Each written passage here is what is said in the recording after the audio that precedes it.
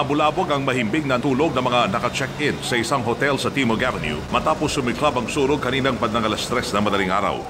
Sa inisyal na investigasyon, nagsimula sa ika-anim na palapag ng gusali ang sunog na mabilis na nagpausok sa mga kalapit na palapag.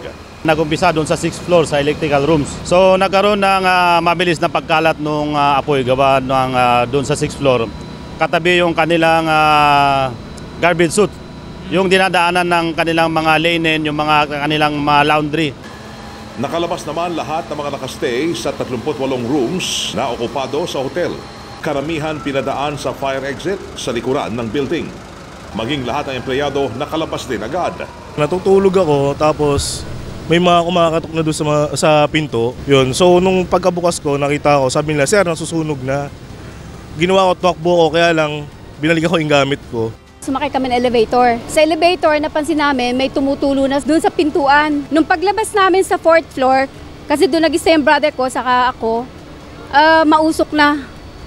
So yung brother ko, pinuntahan niya yung pamilya niya.